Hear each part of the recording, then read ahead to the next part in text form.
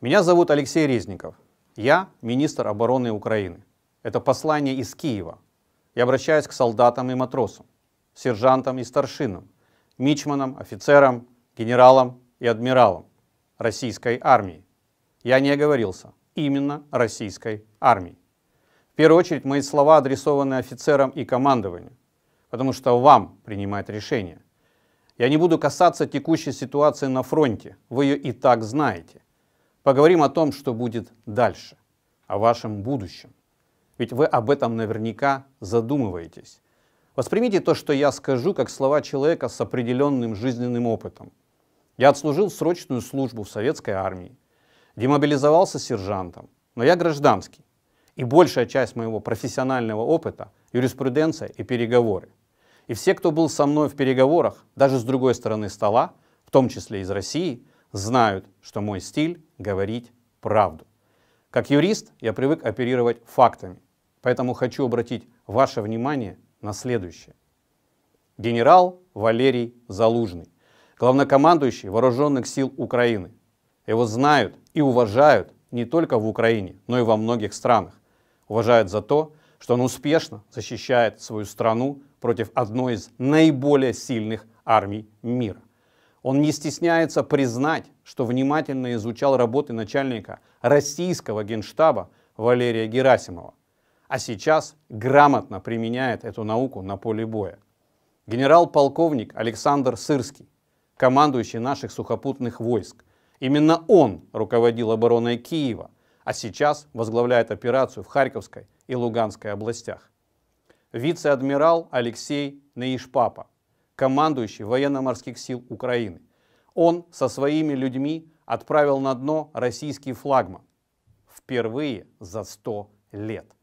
Генерал-лейтенант Николай Олещук, командующий воздушных сил Украины, который ваша пропаганда уничтожила на словах еще в феврале. Но вы до сих пор каждый день хороните своих товарищей. Наши десантники под командованием генерал-майора Максима Миргородского сейчас в первых рядах сворачивают вашу оборону. А где ваш десант? Вы знаете. Там же, где и ваша морская пехота. На кладбищах. В Костроме, Пскове, Рязани, Ульяновске, Калининграде, Улан-Удэ, Туле, Новороссийске и других городах. Ваши десантники сейчас гибнут на правом берегу Днепра, они знают свое дело, но кто-то в Кремле решил отправить их на верную смерть. Почему так происходит? А все очень просто. Вас обманули и предали. Вам обещали легкую прогулку, а отправили в западню. Вы платите кровью за чьи-то фантазии и ложные цели. Теперь вас не слушают, потому что послушать вас сейчас значит признать свои ошибки. А в Москве не любят правду. Им проще рассказать, как вы геройски погибли в битве с выдуманными полчищами НАТО. Страны НАТО поставляют нам оружие, это правда. Но бьют вас этим оружием украинские воины. Вы об этом знаете. Президент Украины Владимир Зеленский посещает фронт, будь то Лисичанск под ударами или освобожденный Изюм. Я сам неоднократно вручал награды и боевое оружие лучшим воинам прямо в окопах. Это честь для меня. Наш президент со своей армией. А где ваш? Вы знаете, что в Украине вы никого не освобождаете. Вы уничтожаете целые города, где совсем недавно вас считали добрыми соседями и говорили по-русски. А теперь посеяна вражда на поколение вперед. Многие из вас уже поняли, вас отправили умирать не за правое дело. Может, поэтому ваш прячется в бункере, а не держит удар рядом с вами. Он боится вашего прозрения и презрения и вашего справедливого гнева. Наши защитники Мариуполя выполнили приказ до конца. И мы сделаем все, чтобы их вытащить. Мы уже это делаем, потому что они герои. Я могу перечислить десятки имен наших генералов, офицеров и солдат, потому что мы гордимся ими. Я, как министр, горжусь ими. Они соль нашей земли. Мы будем заботиться о них и после войны. А кто теперь вы? Спросите себя, кем считают вас. Кем вы будете после этой войны для своих детей и внуков, когда они узнают правду? Как войдете в историю? Как те, кто воевал под одним знаменем с зэками? Вы и останетесь в памяти, как воры, насильники и убийцы. Я вам скажу, что будет дальше. Тысячи российских парней погибнут. Еще больше останется без рук, без ног. Но их опозорят, а вас сделают виноватыми. И снова предадут, как уже предавали не раз. Вспомните войны в Чечне. Вас уже публично унижают те, кто воюет в ТикТоке. И это только начало. С человеком, который пока возглавляет Россию, никто уже говорить не будет. Об этом четко сказал президент Украины Владимир Зеленский.